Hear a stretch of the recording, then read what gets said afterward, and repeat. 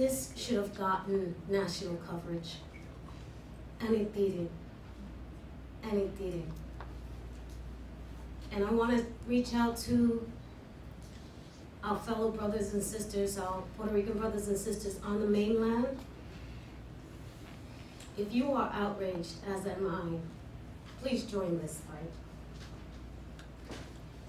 Because this island needs all the help that it can get.